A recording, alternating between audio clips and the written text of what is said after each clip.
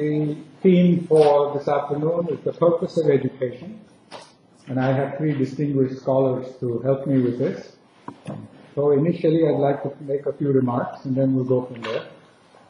To start with, maybe I might give you a little bit about my own background because that involved the process of re-education in itself. In that, my basic background is in uh, technology, engineering, and management and I was involved in professions and a career for almost 30 years in that field in various capacities in terms of electronic, electromechanical manufacturing company.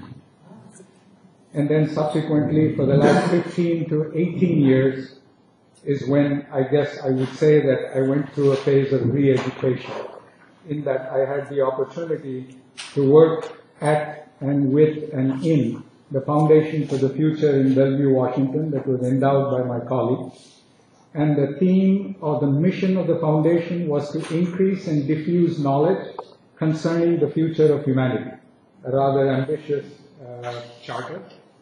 But in the process of doing so, personally, and again, it might seem like I'm dropping names, but forgive me, but in the process of working through the different activities of the program, activities in the programs of the foundation that I was in charge of, I had the opportunity to personally interact with and have conversation with and learn from mostly eminent people like Ed Wilson, the creator of sociobiology, uh, Eric Chaisson, who wrote the classic text that's used in every astronomy classroom about the epic of evolution, Fagan, Brian Fagan, who is one of the world's most famous cultural anthropologists, who has written about 50 books talking about the anthropology, the cultural anthropology of various civilizations. I even had the opportunity to discuss memes with Richard Dawkins and uh, vital dust. In other words, the fact that we and the stars are made of the same stuff as originally scientifically established by Christian de Duve and his book subsequently called The Vital Dust.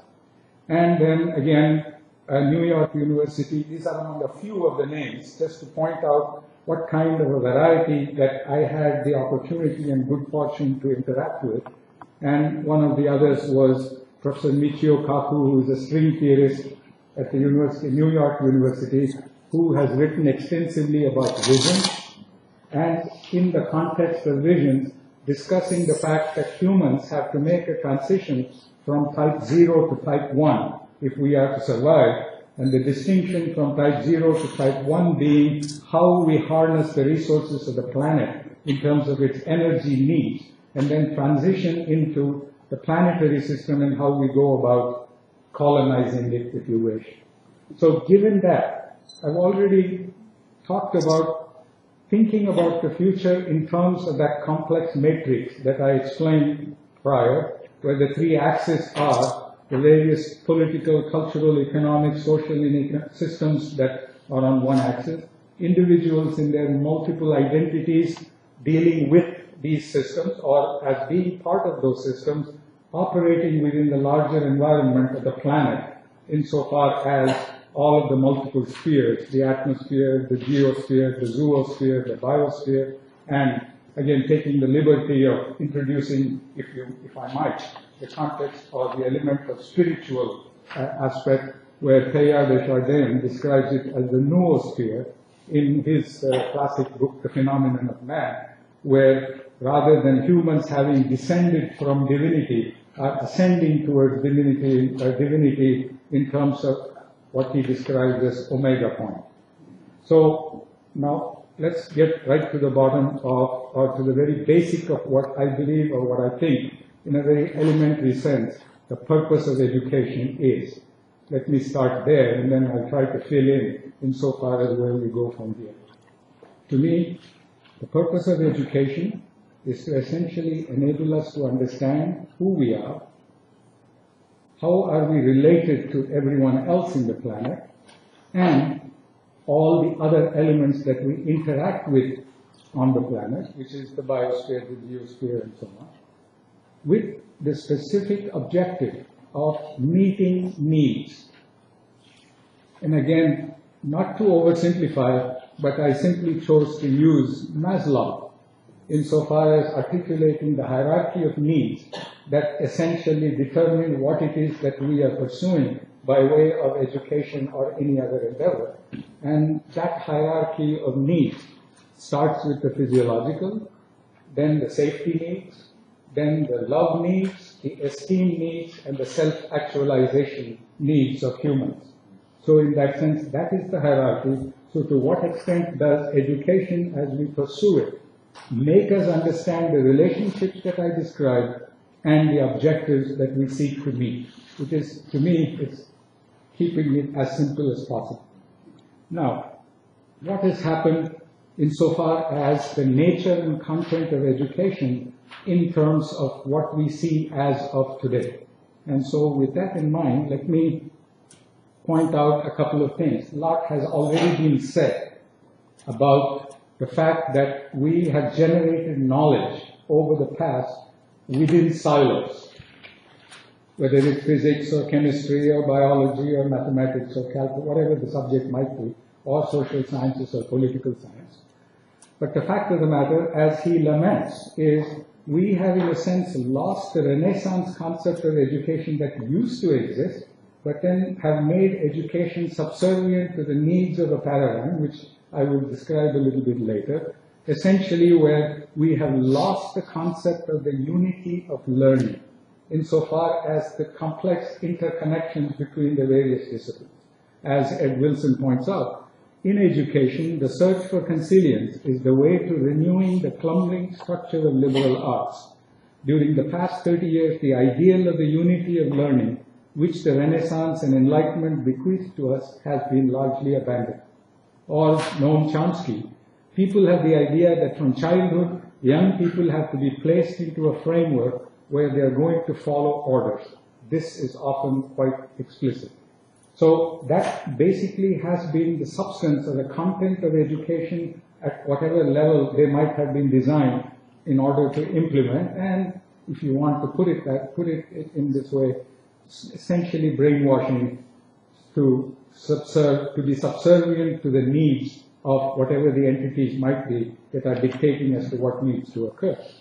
And to that extent, what used to be in the old days involuntary uncompensated slavery, we have moved to education, meeting the needs of those that are interested in achieving objectives to voluntary paid slavery.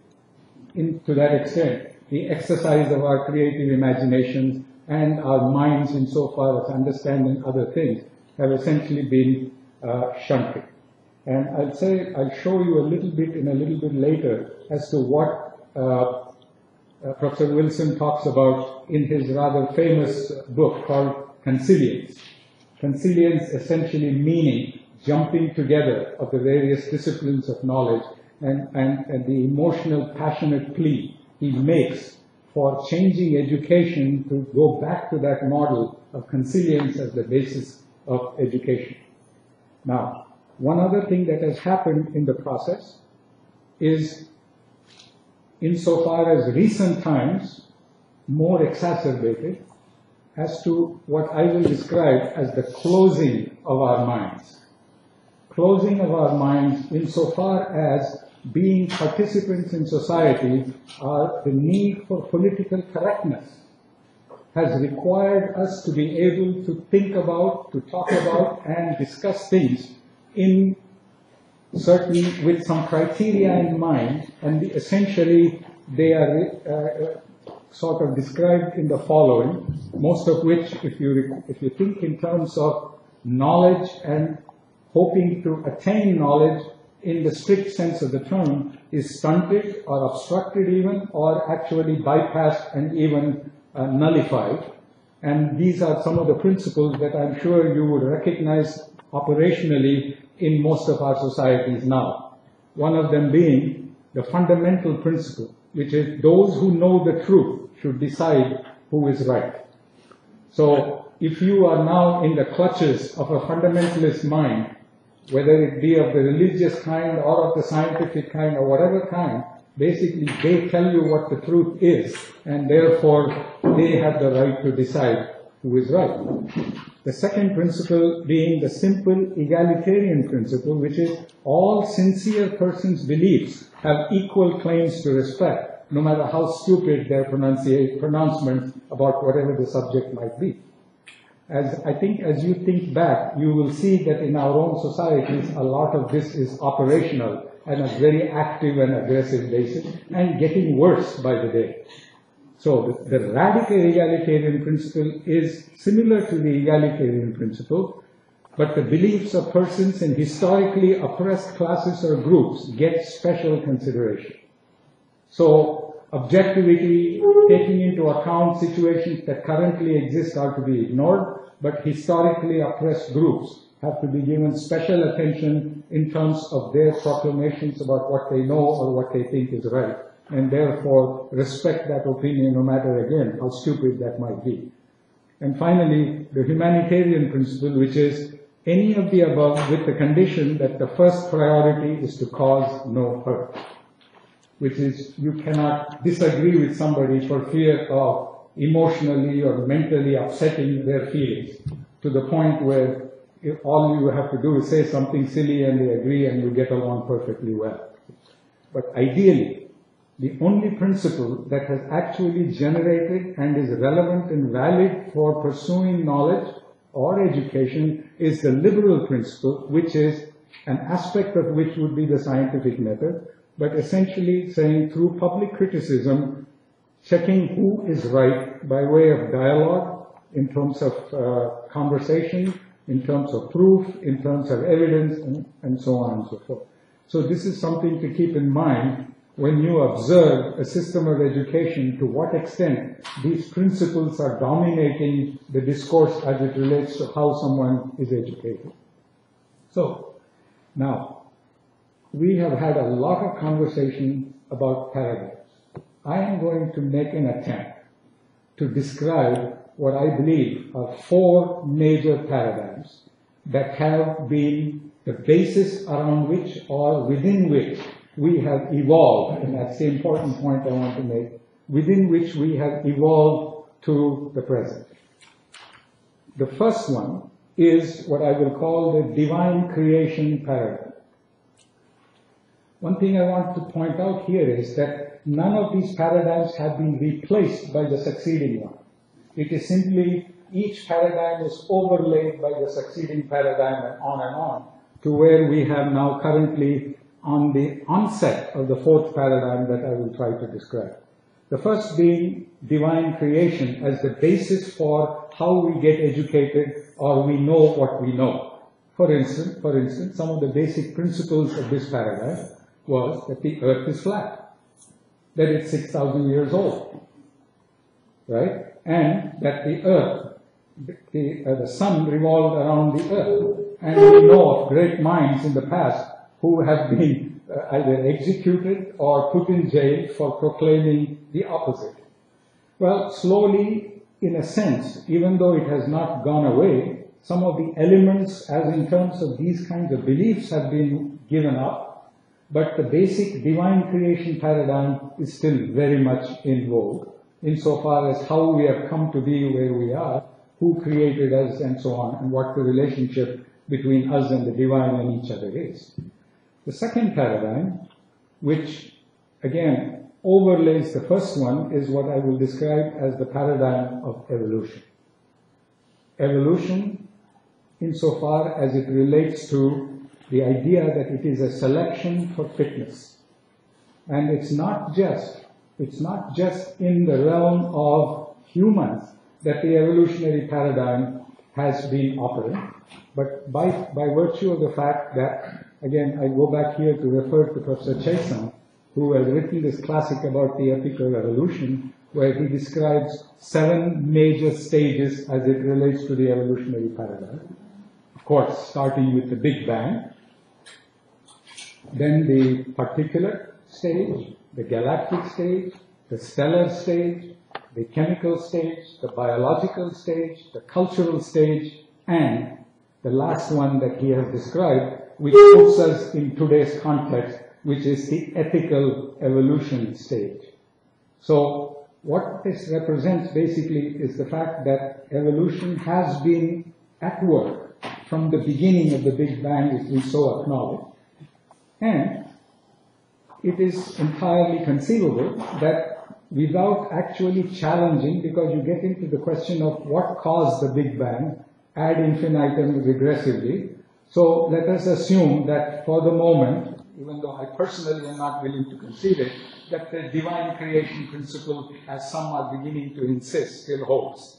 And that divine creation principle is articulated in the form of what we now know today, presumably as a science, is intelligent uh, creator. The intelligence principle, meaning what we see around us insofar as structure and organization and hierarchy and perfection and interrelationship between the components are so perfect, are so good. For instance, the various parameters that holds this planet together are exactly of a certain uh, measurement to where any variation in that we wouldn't exist. And the idea being that intelligent, it represents intelligent design, therefore there must be an intelligent designer, which, depending on your inclination as to what faith you belong to, that is the God who is the intelligent designer. But I don't really want to get, get into the debate because there's a lot of debate about the, the hoax that this science of intelligent design is. It depends on who you talk to. The third paradigm, again, overlaid on the first two, again, keep in mind that where we are at, situated insofar as humans on the planet as a species, is between cultural evolution and ethical evolution.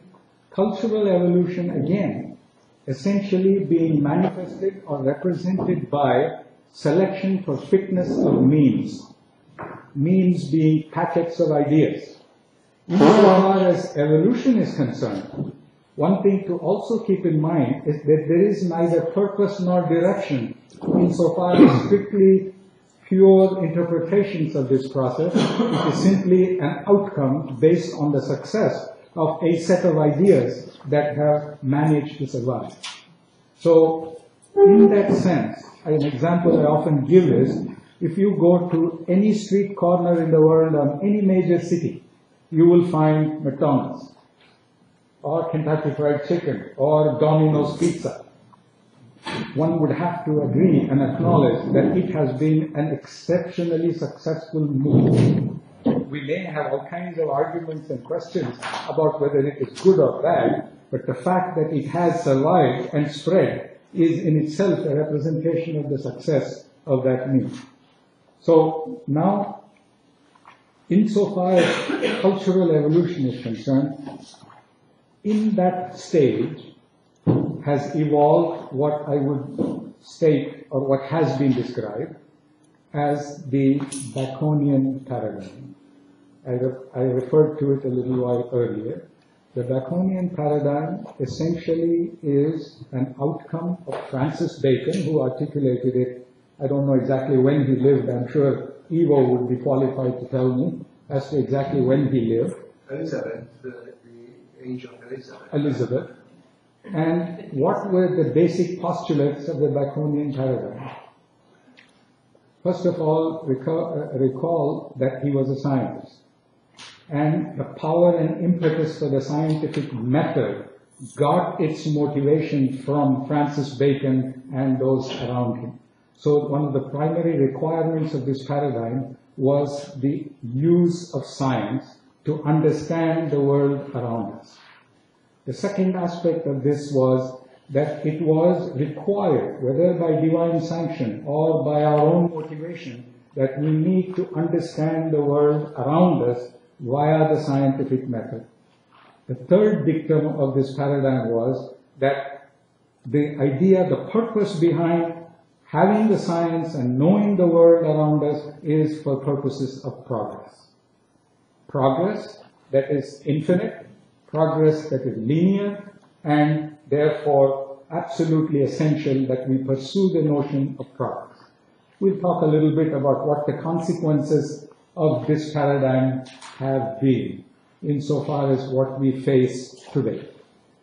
The fourth one, and this is where a lot of conversation is now taking place, is the idea that we are at a point in our evolution where we need to think in terms of what might seem like an oxymoron or a contradiction, which is conscious evolution.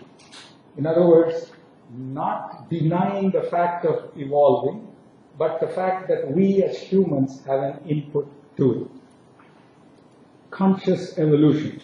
And here some of the principles of new science have become important and have come into play, some of them being, I don't know if you're familiar with uh, the popular book that Malcolm Gladwell wrote recently about tipping points.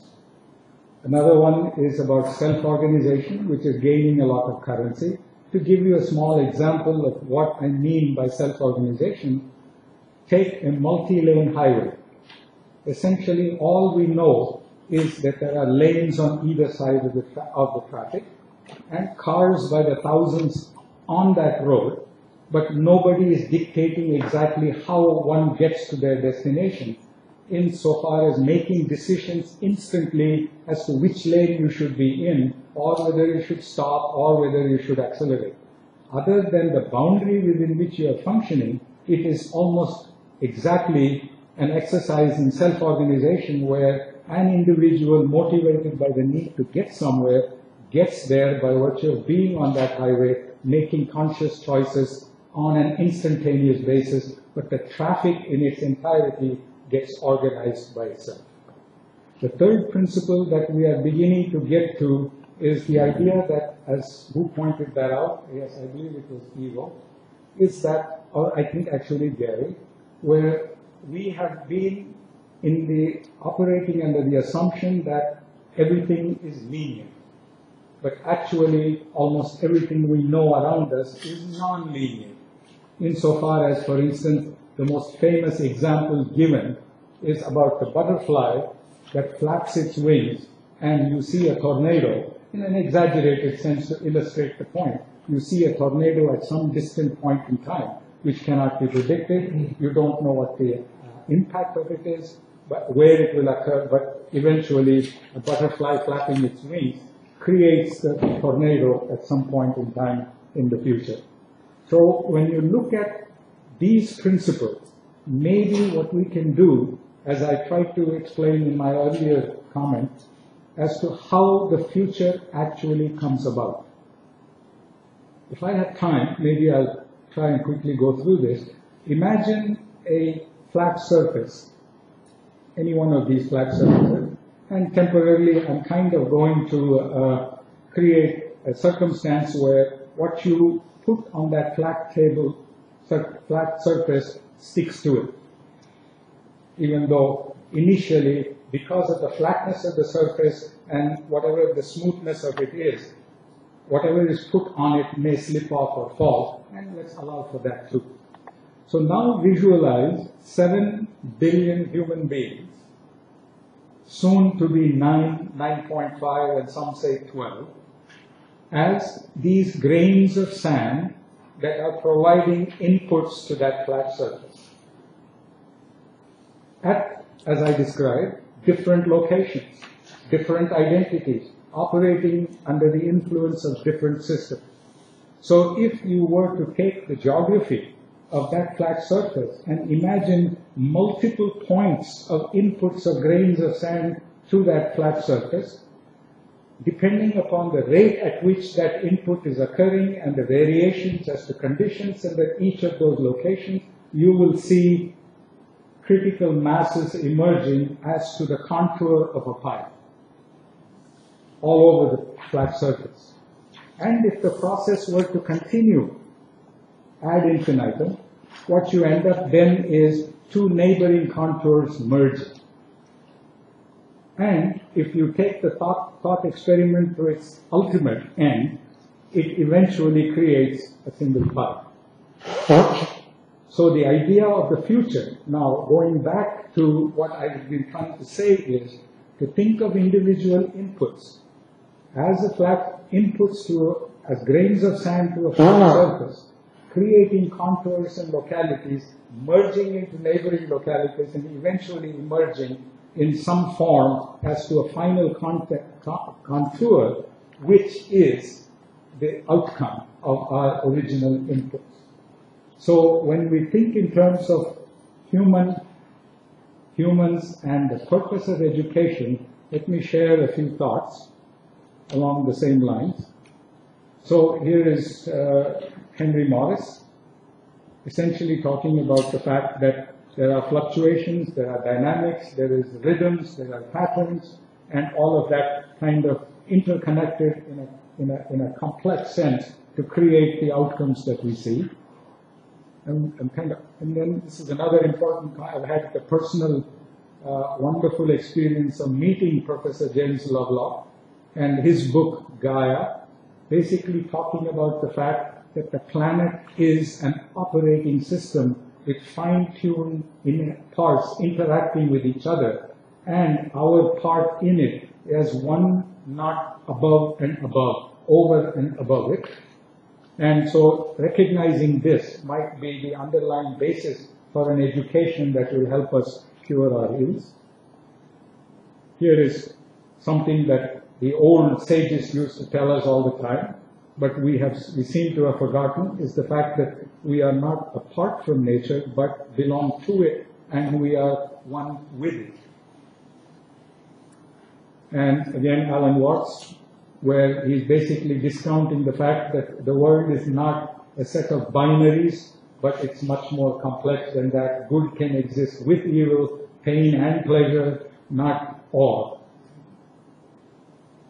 And this is again uh, John Barrow, another famous physicist, talking about the fact that we, it's totality, it's holistic, and that a lot of the Eastern philosophies had these ideas centuries, if not thousands of years ago. It's not that they were misguided as we used to think, but maybe premature. Because if we were to think in terms of consilience, coming back to education, here is a diagram that Professor Wilson draws about, we were discussing this earlier, as to whether when we think in terms of the sciences that we pursue today, the silos individually are environmental, ethics, biology, and social science. But in terms of addressing real issues, you cannot separate them in those silos. Rather, you have to think in terms of them as complex interacting phenomena that we need to have some understanding about if we are to be successful in addressing these issues. So again, coming back to the very basic idea that we are thinking in terms of education for the future would require the acknowledgement that we need two basic requirements, two basic things. One is humans need to think in terms of a planetary identity, and secondly, ethical evolution. Ethical in the sense, and I'll get to that in a minute, and here we've mentioned all these earlier, the balancing between the individual and the collective, which Gary pointed out, and also the fact that we are part and parcel of a complex system around us, which is the atmosphere, the biosphere, the geosphere, the zoosphere, and the noosphere. So the purpose of education need not be, at least as far as not the knowledge aspect. I'm not discounting what that this applies to mathematics or physics or chemistry, but at its simplest level, the purpose of education going forward has to be the idea that we are planetary citizens, no longer uh, can survive with narrow identities that relate to geographies or history or culture or politics or society. And a second aspect, and I'll close with that. My colleague, who is a far-sighted uh, uh, physicist and a thinker, used to constantly point out that humans today are the equivalent of going in a car, traveling in a car at rapid speeds down a slope without steering, without brakes, without uh, headlights. And unless we stop and think in terms of how we are going to get control of that situation, we may not even survive.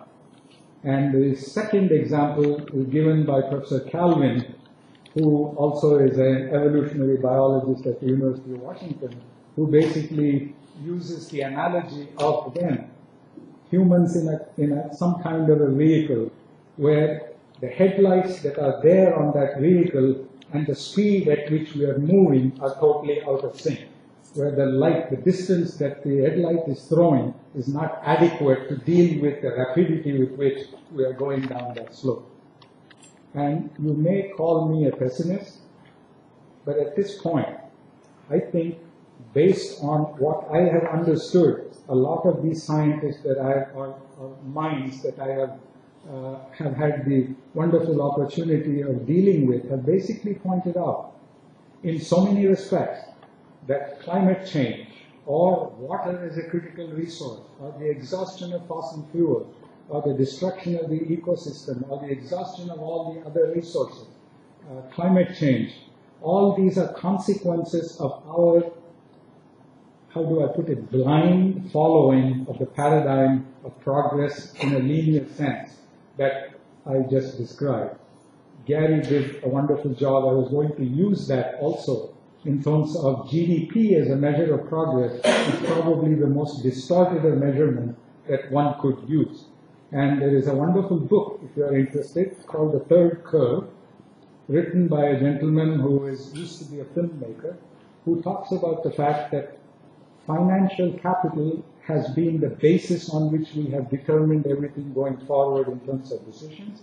But one needs to take into account that, as again Gary pointed out, not only is financial capital uh, important, but we have cultural capital, we have social capital, we have human capital, we have resource capital, and we have ecosystem capital, all of which are being depleted at the expense, motivated by financial capital as the only measure of progress.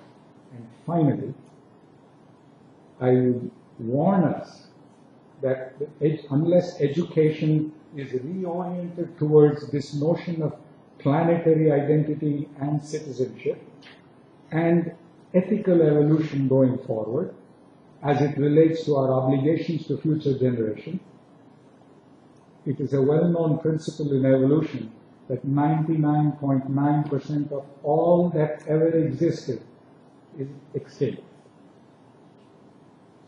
And right now, scientists are describing, at least in the last several weeks I've already read, that we now are actively in the sixth stage of mass extinction. And humans are not exempt. Thank you.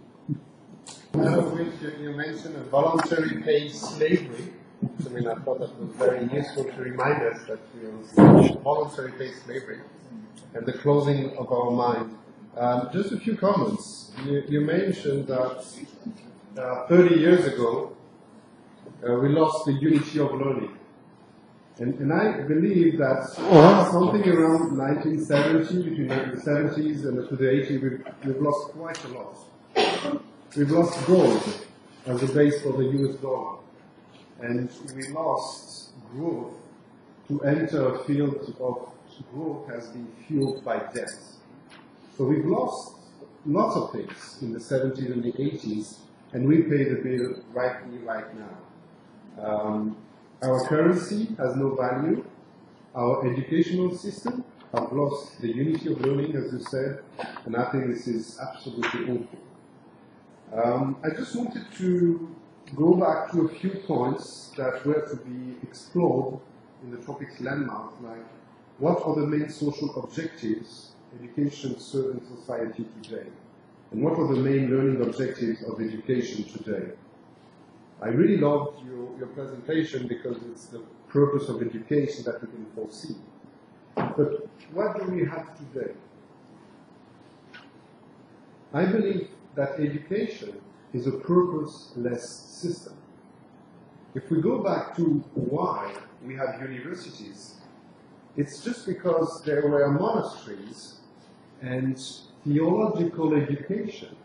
And the tradesmen wanted to be able to have their own way of educating people without the religion.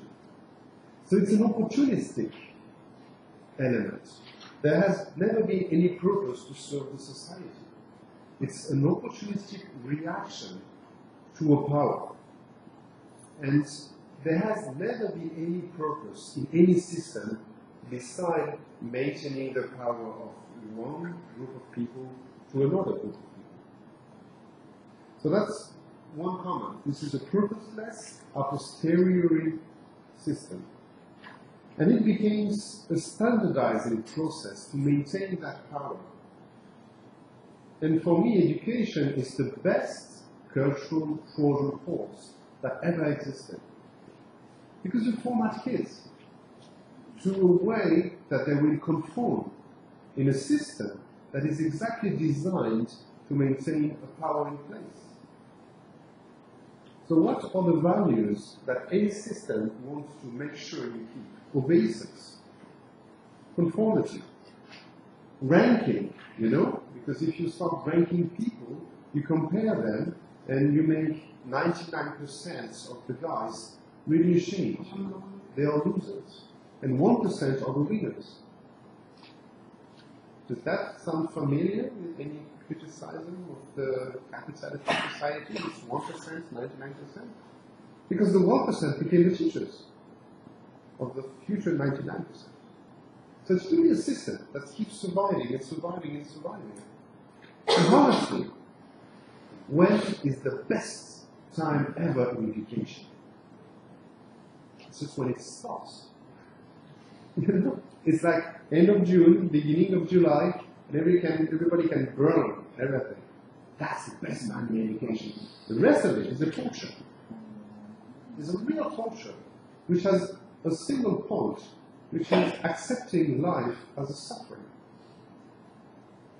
And there are many other traditions that refuse that life is a suffering. And instead of maximizing profit, there are other ways to think and to say, no, we have to minimize suffering. So instead of having a purposeless system that is just evolving for the sake of 1%, torturing the 99%, promoting obeisance, conformity, and standardization of thinking, why can't we think of something else? Something that would make us happy, healthy, creative. And I'd like to stop here. Uh, education should be the development of the individual personality in the social context. Uh, and uh, I think uh, the social context may be derived from needs, as you mentioned now, but I think it's also produced. We have many uh, needs we are uh, uh, seeing now, for, for example, in the consumption. They are produced. It's not our needs to have internally, they are produced. But what is more important is what uh, do I mean by individual personality? I think it's uh, out of three components. One is thinking, the next one is emotions, and the third one, the will. A person exists uh, of these three dimensions, and altogether can be uh, called its the wisdom we discussed already this morning. So, uh, education should enhance the wisdom of the whole personality. Uh, the second point is the general learning objective to arrive at the development of a personality uh, should recur to the classical uh, enlightenment. Uh, classical enlightenment uh, begins already with Bacon, and to refer to the French uh, uh, parallel theory from Descartes. You know, this is just linear. I think this kind of enlightenment doesn't help much, but we have many other enlightenment theories, beginning from the Scottish Enlightenment to the French Enlightenment. I remember we have already spoken about Smith, Locke, Hobbes, in France, uh, Voltaire, Rousseau, and uh, many others, and uh, I may add also the theory of Immanuel Kant in the German speaking area. And for those people, reason was the central argument for the development of the personality. So it's the thinking mainly and the rationality in the sense of, uh, um, of the reason, enlightened reason, which was the promotion to develop an individual personality. I think this is uh, uh, very important uh, if we want to develop a paradigm or something of a paradigm to connect it with this older theories in the second uh, part of the ninth, uh, uh, 17th century and uh, beginning and until the 19th century. because in my view, I think we should not build some theory without relying on these Enlightenment theories. Uh, it certainly, they have certainly been in, uh, to be enriched by modern theories, which I do not know so uh, much uh, than the Enlightenment theories. But a few years ago, we had a conference in Podgorica, and there were very interesting contributions to the uh, uh, aspects of modern, of modern society which modify in a certain way the classic Enlightenment theories. Uh, the next point is education should be a process, and this is what we call as the lifelong learning.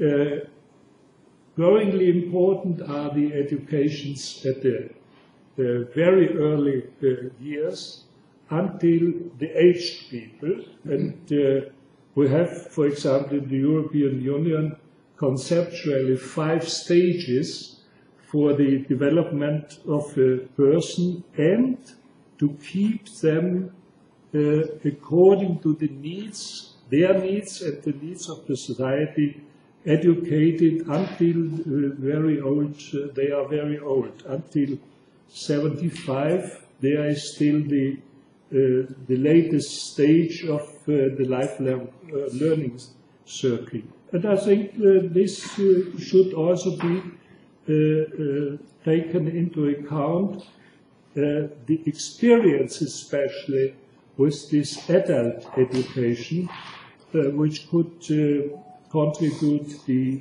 to the development of some kind of paradigm or practice. Finally, education uh, has to be human-centered. It has been said already uh, uh, many times here in this uh, morning, and I think uh, Gary has contributed already to uh, an important extent to develop some kind of human-centered education concept. But I will refer also to Amartya Sen, you know, the theory of capability, which in my view is, um, especially from the view of in, from the economic system, it's uh, really a good uh, composition because he has three kind of uh, educational activities where the capability should be developed. It's the social context, it's the working context, and it's also political context. For example, democracy is a very important value, and I think this should take, uh, be taken uh, into account and may enrich what I have uh, at the beginning defined as the development of the individual personality in the social context. Thank you. Thank you. I, I, first, I would like to start my comments by by saying my gratefulness, leave my gratitude to all of you here, and uh, me as business professor, uh, and also uh, a, a business professor who is going through sort of change of paradigm myself in my particular, you know, the, the functional area of study. And I, I, I view this, uh, you know, you know, change and paradigm shift in my career, and also for the, for the general in academia, is very critical. Uh, that's my view. So, so as a, as a business professor, it has been a very, uh, I mean, valuable learning opportunity myself, and also uh, learning from the, this, uh, the, the, uh, colleagues like you from this eminent uh, association. Uh, going back to my own uh, study, field of management, within UN community, there is a newly uh, emerging secretariat called UN PRME, and PRME stands for Principles for Responsible Management Education, and more than 600 business schools worldwide joined this new sort of movement in, in, in terms of the new, new paradigm of management education. And, within this kind of uh, the, the organization, from my experience with this movement for the last five or six years, sort of I experienced, you know, the, those issues that we, we discussed today. So once again, uh, this, has been a wonderful uh, learning opportunity myself. And my comments on this uh, session, I especially liked this, this, this, this session because it was about purpose, purposefulness in our calling education. And I think I'm not denying the uh, freedom of academy, uh, I mean, uh, scholarship and so on and so forth. But when, as we are moving into this new dimension, this, this new dimension of uh, education, where, as, as, as Professor uh, Velamoor mentioned, uh, conscious evolution is sort of regarded as a very uh, critical dimension of that, evolution. So as we are moving into this new dimension, maybe purposefulness might be the very starting point. Especially that is especially so when it comes to the change management issue. You know, the change man- management issue uh, is the uh, very important subject subject in the in, in, in, in today's business, today's management. And, and, when it comes to the change management, uh, for those, uh, if you take a look at the company cases and so on and so forth, those so-called purpose-driven companies are more likely to manage the, the change in, in successful manner. So if, if we are talking about this paradigm shift in education and learning, maybe it's a very good starting point to talk about purpose. What is purpose of education? And, and going back to the greatness of having purpose, purpose will ignite the human members within the organization or within the system. And purpose will give you with some creative solution. And, and, and, and, and, and, with this new paradigm, change management, we may go through ups and downs and uncertainty and so on and so forth. But having this purpose will go, will make you go through all this, uh, the uh, uncertainty. So, so uh, I think uh, having purpose and talking about this purpose, purposefulness in education is, uh, is, is, is, is a good idea. And my comments will be short. And, and my sort of question to, to this session might be then uh, the from my from my own experience as a business uh, professor uh, with, with with this in conjunction with this UNPRME movement, uh, the, the experience that I had so far is that not many professors share this the necessity of, have, of having this purposefulness in, in their education. Maybe that's because of compartmentalization of the knowledge and so on and so forth. And again, as we are moving to from knowledge to wisdom kind of level, then uh, we, we need to have uh, to, to, to, to have this purpose in the education process and learning process. Then my question is, uh, what do you think? I mean, what might be the reason and or uh, the, uh, the, the, the way to forward with the, uh, making this, uh, the community of learning education uh, moving into the purpose-driven uh, the paradigm. Who would you like to answer that question? Maybe all of us. All of us. Okay. Thank you. Uh, Thank you. Part of the reason is, as you pointed out, is when you operate completely closed in within a system, then you tend to be unaware of what's happening outside. In that sense, insofar as consequences of the current paradigm in operation, one can directly point to the fact that every one of the symptoms that we are now looking at by way of what threatens us as a species on the planet is a direct consequence of this paradigm that we are blindly following within our silos, whether it is in business or whether it is uh, geopolitical affairs or whether it is dealing with culture or whatever the aspect might be. So the whole purpose has to be, and I think maybe one of the things that a conference like this might attempt is to connect the consequences with the with the nature and the content of the paradigm that we are following to where nobody then can be suicidal enough to say, oh, that's fine, let me continue with it. So it's awareness and breaking down, you know, of the of the of the big concrete structure that is around us insofar as what we are operating within and the consequences that we are creating. Uh, I don't know how many of you have uh, read the world famous classic essay called The Tragedies of the Commons. And I think The Tragedies of the Commons is a perfect manifestation of operating within our domains totally oblivious to what is being thrown out into the area of the commons that nobody is responsible for as of now. Yes. Great session and uh, great comments. Uh, I would only want to address, uh, you mentioned uh, Alan Watts. Uh, I, Alan you Watts. mentioned in your, I studied with him Oh, in you his did. household in the Right, right. And I learned from him a precious uh, concept that, I think would be relevant to the purpose of education. One of the phenomena that you were addressing, you know, that bring us uh, to the brink of catastrophe is that uh, we are compulsively dependent on truth, on security, on, you know, getting control.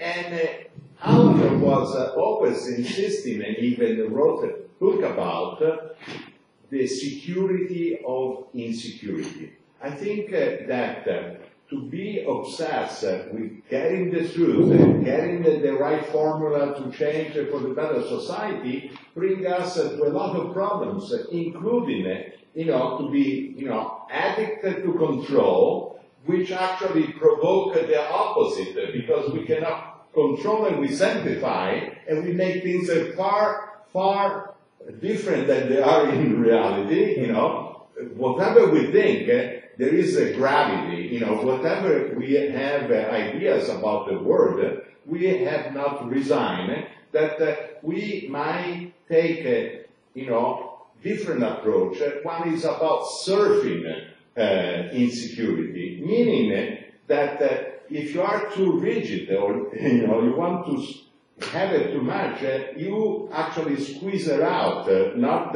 you know, grasp it. And uh, that book, uh, The Security of Insecurity, Insecurity. I would recommend it as, uh, you know, from high school on. Uh, I, I, I give it to my post-grad students uh, in uh, psychotherapy because also the field of mental health, uh, you know, has been obsessed about understanding the truth and hurting people quite a deal in that regard. So I would say that uh, certain uh, reality with a little bit more humility and uh, also maybe we would have uh, less need of denial because uh, you know, we are so obsessed of getting it, then we feel impotent in front of some uh, phenomena, and that we deny. See, uh, for years, uh, uh, you know, climate warming and so forth.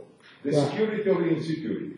I was going to show one slide, if you can turn that around, that reflects your sentiment perfectly. It's from our great physicist Subrahmanyan Chandrasekhar, and let me see if I can get to it. It's about Icarus. Okay, so let us see how high we can fly before the sun melts the wax in our wings.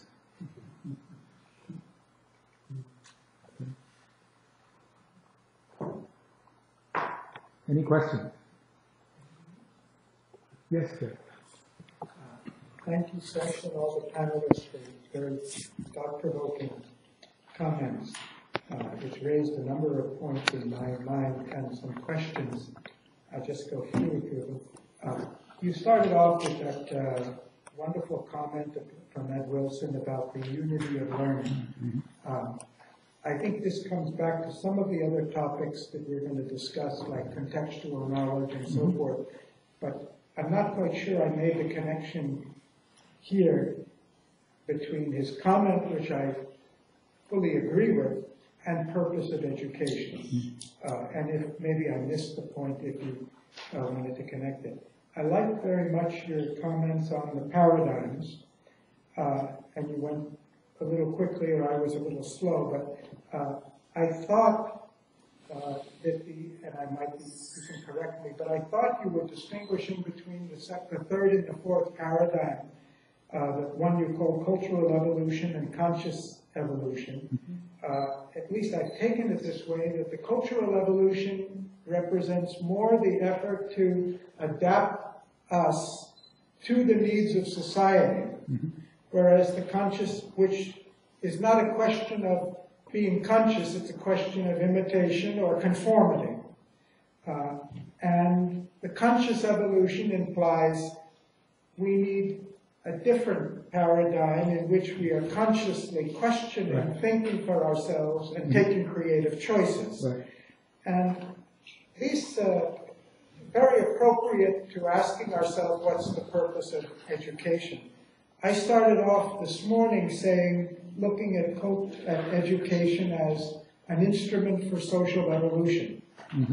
And in saying that, without elaborating on it, uh, I think that there are two dimensions to social evolution. There's no doubt that society wants to preserve itself, and it does that by trying to pass on those essential knowledge or skills or values or behaviors that are in conformity with its survival. There's also education to help solve our problems and move us forward. Some of our scholars described it as thrival, As thrival, thrival. as opposed to survival. Ah, good, okay. Uh, I think this comes back to the question we were discussing this morning about a theory of change.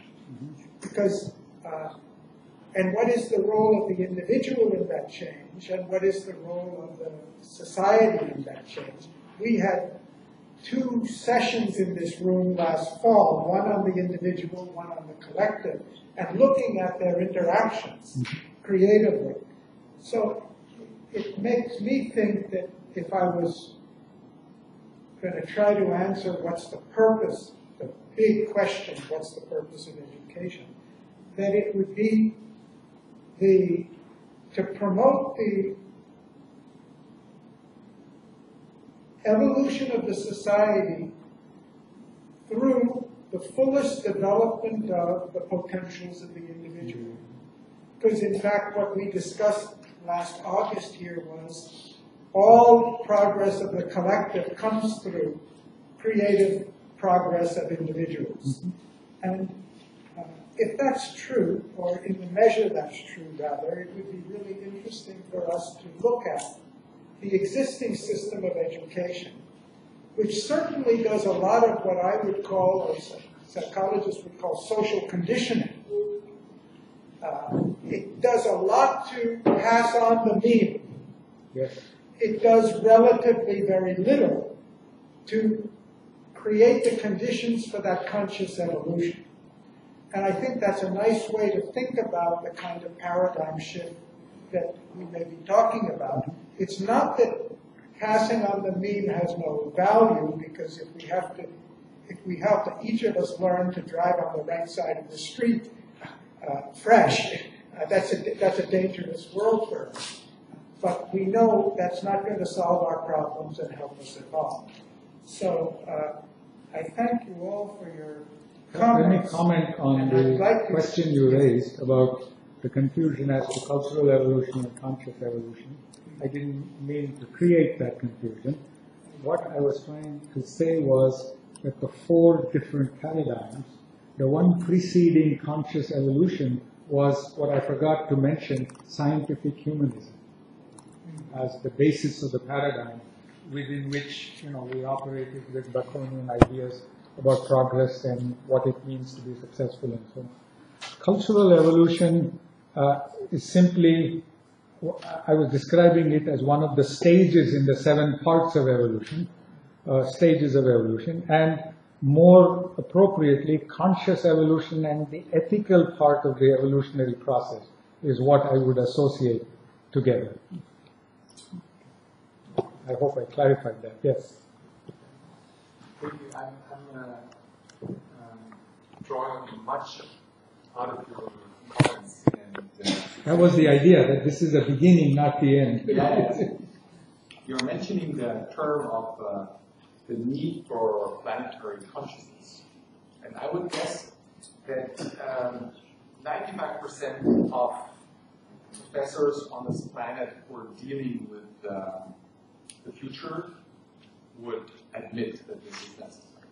I'm sorry, we- would admit that this is necessary, Yes. planetary consciousness. How do you think you're gonna get there?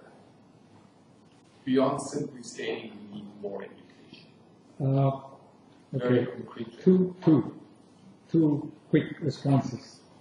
One is, as we were discussing a little while earlier, and this is the pessimistic one, which is that we will head towards a collapse and react. The prognostications are uh, quite, how how do I put, uh, predominant that that's really what's going to happen. Because evolutionarily we are not hardwired to anticipate those kinds of uh, quantum jumps in thinking about who we are. But the other part of it is, again, a thought experiment. Suppose, for instance, that we were to create a circumstance where we say a hostile alien power is ready to strike us. What do you suppose we would do as humans on the planet? Run. Run or unite to fight?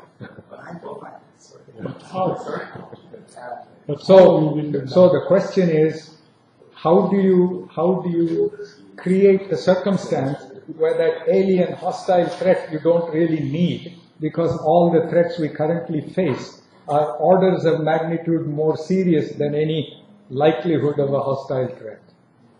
It may not happen at all. I, I agree with you. So I am somewhat of a cynic in the sense that we are headed towards a collapse.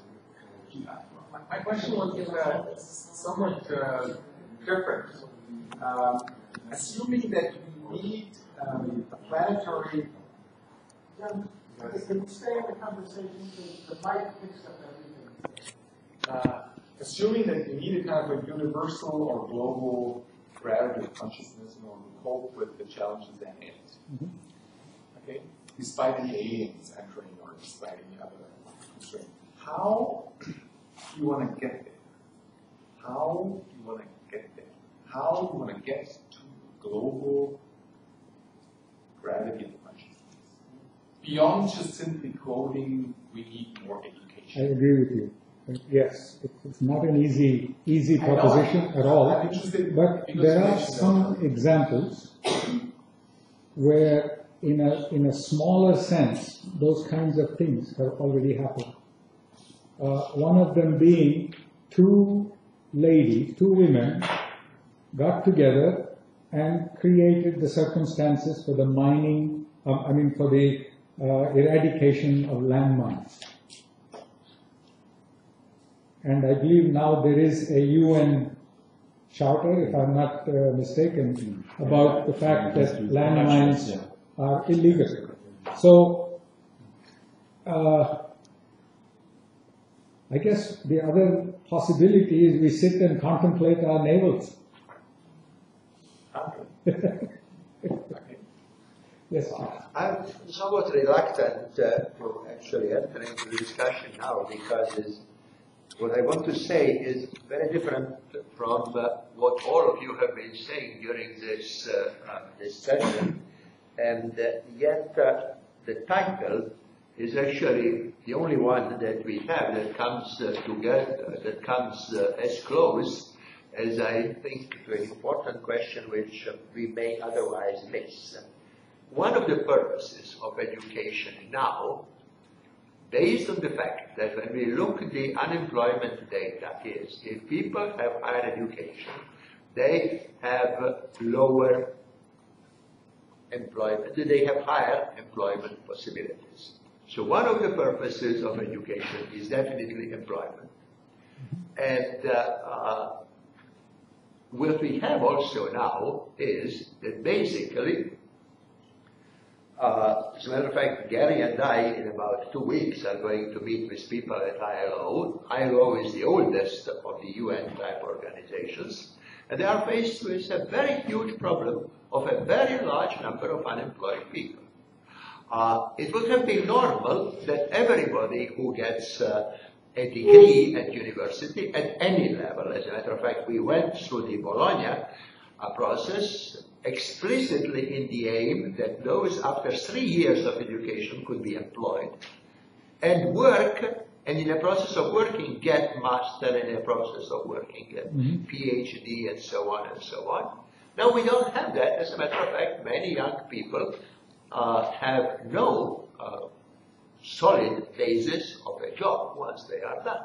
I remember when I was a professor at the University of California, I had three jobs. Job number one was to teach. Job number two was to do research. And job number three was to get a job of those of my PhD students who got a PhD with me and those of my postdoctorals to get them a new job.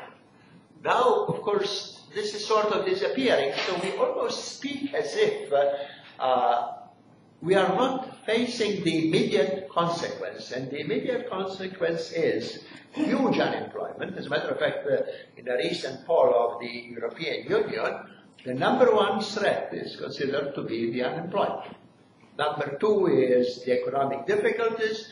Number three is the immigrant. Now maybe this is pushing up. Mm-hmm. And only number whatever 10 or something like that is the war among the stupid powers or the terrorism or something like that.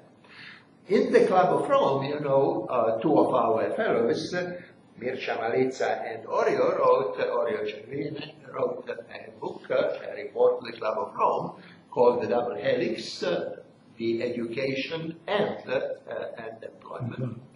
And uh, if I am not mistaken, the second report of the Club of Rome was, which came as a matter of fact, as a, in a way, as almost to relieve the, the pressure of limits uh, to, to growth, it was there is no limits to learning. Uh, so uh, these things are things that uh, I would like to see as an immediate reaction.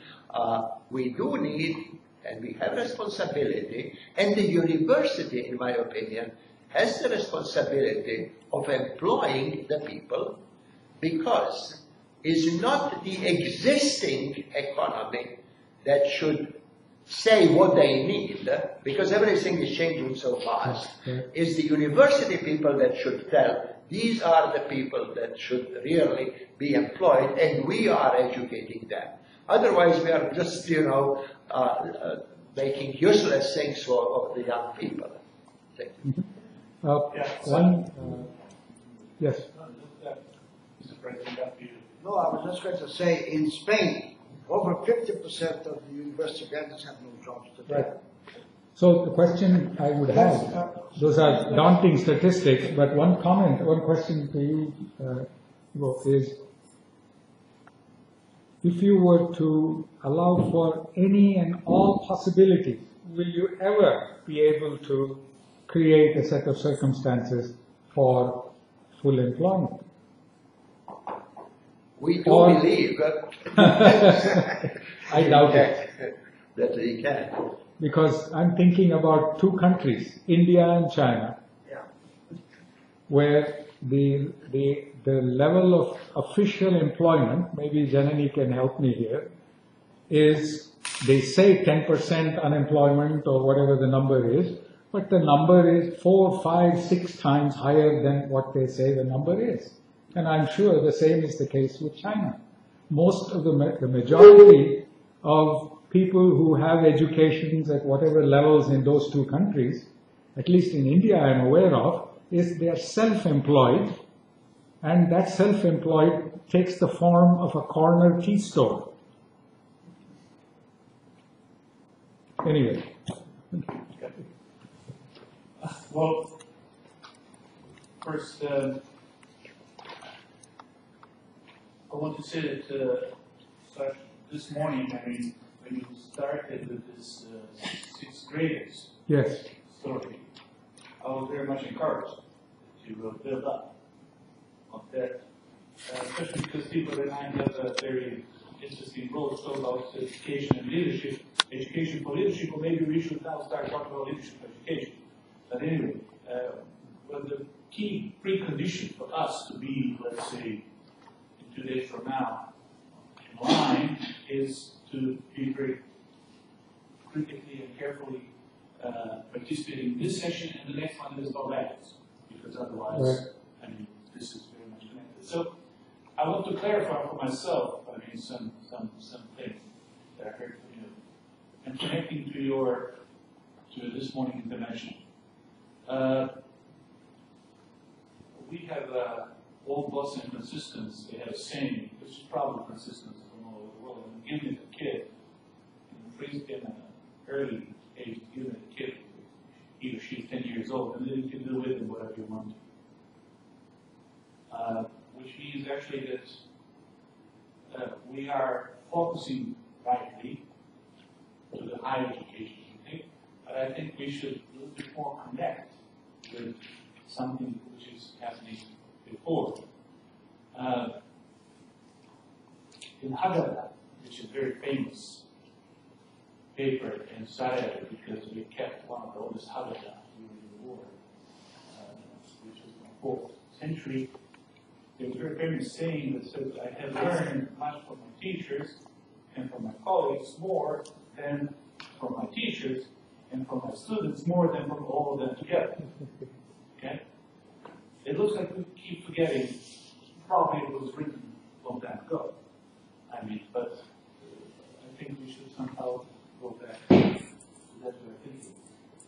Why is asking about it? Because the, the purpose of education, yeah, of course, there's a lot, but there are two keywords.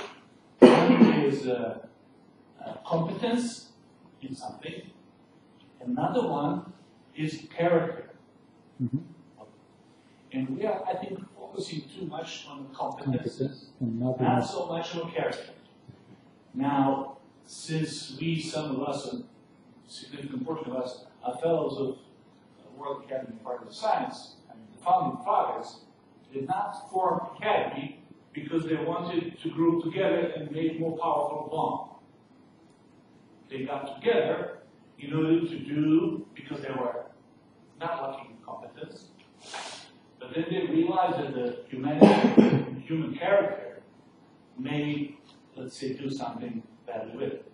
Now, finally, one of our colleagues, I mean, he was even quoted today in, in one of his books about global wealth and things like that. Uh, he has a very interesting quote by saying that we are living today in, in a very bizarre, in a time which is a bizarre combination of Stone Age uh, emotions, medieval age beliefs, and almost godlike technologies. Mhm. I think this is the, Yes. one of the core problems. It's, I mean, we're talking about education, and we are getting better, faster, uh, in direction of higher quality of tools, technologies, whatever you want. But are, that's why I was very encouraged when I saw in your in your model that this uh, educational evolution, uh, ethical evolution, is the key Key, exactly. thing and the goal and tool of education. So I would like to clarify for myself, so I don't get out of the box two days from now when we start talking about leadership. Am I right track in thinking that we should focus much, much more about educating characters? Because education is, I'm paraphrasing, but comes so, so, so that education is, of course, about teaching you how to make a living. But that's right. But at the same time, it is how To live. live. And not how to live yourself. And not how to live your family, and not how to live in the time where you are alive. In that context, I think that we should a little bit uh, pay more attention, or at least put a footnote that we will on the characters and on, uh, as you were saying, on life, right? Because all this technology, everything is just support for the substantial life, which is, is in life. And we are going, I mean, in completely wrong direction. Not us today here, but I mean, obviously, the, the, the world is going in, in, in, in an unknown direction. And it looks like, it's not that you have too many drivers. It looks like nobody driving. There is no driver. There's no nobody driving. Uh, Carrie and you, we have two minutes, so Okay, sorry, it's a, thank you for that, and thank you for the, the discussion so far. I mean, it's such a complex field. And I've got one observation. I wonder whether we're going to get to a purpose for education, and rather if we recognise that education is um, a function of and a practice within a democratic society. So what we need to have is uh, better mechanisms for debating the multiple purposes of education. So the question of where the public fora should be to have this conversation would be one that I would ask. And I ask it, again, very mindfully of, of the people that aren't in this room, and also because actually quite a lot of issues around gender are going through my head at the moment, but I won't express yet. Um, but I also want to flag that there are, there are two people that I think are particularly useful in this debate that we've not mentioned. The first is um, the Dutch philosopher of education, Roderick Biesta, who argues that the purposes of education are qualification, so the ability to learn to do something useful, socialization, the ability to live in society, and subjectification, subject, which is the, the development of the self and agent in society. Um, and the other person that I think is incredibly useful, who I skimmed over this morning, is Margaret Archer, whose work has been looking at the relationship between individual and society and the mode of reflexivity we need. And her argument, it's a, it's a really long, thorough study that I won't go into, but her core point is that at the moment, as the world is changing rapidly, the only thing that you have to hold a coherent identity around is precisely a sense of purpose. Mm-hmm. So again, it goes to the how do we enable people to develop life projects? So again, rather than this notion of the never-ending search for the singular purpose of education that we can all get behind, my question is how do we continue to have a much more lively debate about the multiple purposes of education that we might want to develop and enable individuals to develop those as appropriate for them? right? Great. Yes. Yourself, and I will try to respond, or any of you can respond. Since uh, Zlatko jumped the gun, not waiting on the Wednesday, I, I'd like to follow the point uh, Zlatko raised the, about the drivers. I, I do think we have drivers, okay? Uh, we have drivers who are supposed to drive, and these are the leaders of the business, the leaders of the political life, the, the leaders of the parliamentarian segment of the, of the society, and, and I could continue. They are shying away from, from, from driving Right. us in, yes, we acknowledge it's a dire strait, so it's, it's full of problems, and wherever you look, uh, there is a there is a there is a huge uh, danger, and, and the speed and the curve is, is not matching each other. If you go back to real life, any driver will have to spend at least a couple of weeks, if not months, to obtain a driver's license. And I don't think that this is existing in, in the real world. So Yes. people are, are sitting on the top of billions or tens of billions of, of, of, uh, of risk and others leading nations or segments of, of nations and there's no driver license. I I should go like a taxi driver in London. Let's understand, uh, at least three years probably, uh, the, the license to be obtained to, to master the streets of, of London.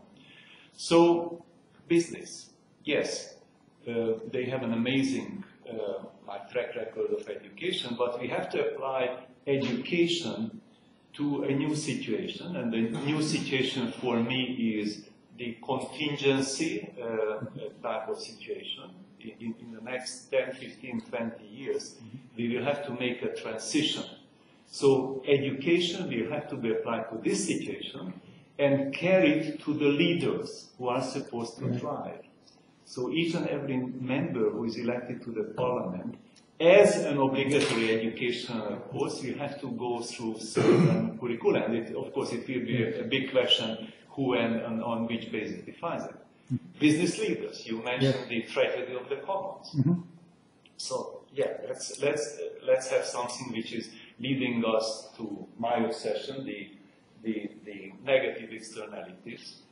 There is a need to, to walk through uh, the, the business leaders in, a, in, in the area where they are, if they are in the chemical industry or, or if, if they are in the, in the other segments, what are the tragedies of the common they might create as a, as a result of uh, running certain activities. And uh, at the level of the politicians, uh, there are certain, uh, yeah, there are certain, how, how I should say, the, the law of gravity. Nations are drawn back again and again to conflict-like situations which they are not ready to resolve by, by cooperation. So I think we have to apply education to, to, to, to the elite practically in a new, innovative way. It's easy to say it might sound naive, but we will not have the drivers uh, Right. not shying away from Uh.